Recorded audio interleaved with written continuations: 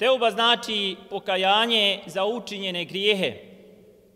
Teuba ima tri uvjeta, šarta da bi bila ispravna.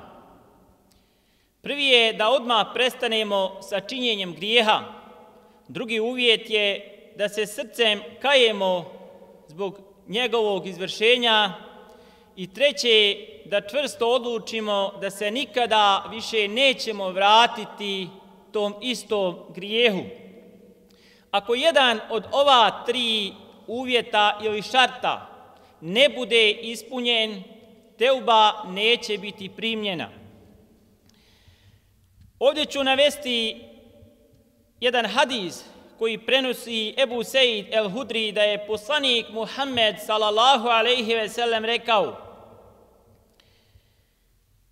Bio je prije jedan čovjek koji je ubio 99 ljudi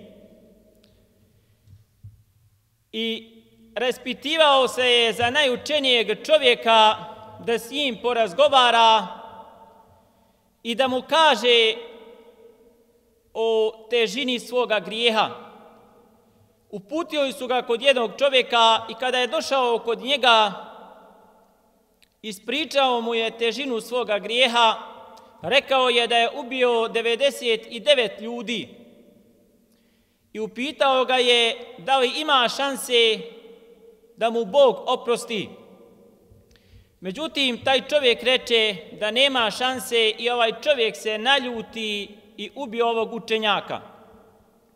Međutim, dalje se raspitivao za drugog učenjaka pa su ga uputili kod drugog čovjeka kada je došao kod njega i saopćio mu težinu svoga grijeha, šta je uradio, upitao ga je da je moguće da mu Bog oprosti.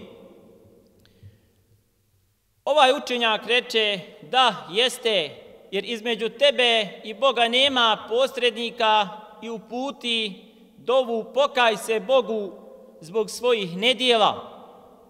A dalje ovaj učenjak reče, Zemlja u kojoj si ti živio je zemlja zla i ti moraš napustiti svoju zemlju i otići u drugu zemlju gdje žive ljudi koji robuju Allahu Đalešanuhu. On je poslušao ovog čovjeka i krenuo je prema toj zemlji gdje žive pobožni ljudi. Međutim, na tom putu zadesi ga smrt. Došli su meleci kazne i meleci milosti i raspravljali su se ko će mu uzeti dušu. Međutim, Allah je poslao meleka u liku čovjeka i rekao im je da izmjere udaljenost od mjesta odakle je krenuo do mjesta gdje je trebao doći i gdje bude bliži, nega ti uzmu sebi. Kada su izmjerili, on je bio bliže mjestu gdje je trebao doći i uzeli su ga meleci milosti. Ovo nam govori da čovjek, makoliko griješio, treba da se pokaje zbog svojih nedjela, a Mubarek mjesec Ramazan jeste prilika za to. I završit ću ovo sa ajetom gdje uzvišeni Allah kaže i zatražite oprost od svoga gospodara, a zatim mu se vratite, zatim mu se pokajte. Molim Allaha Đalešanuhu da nam oprosti naše grijehe.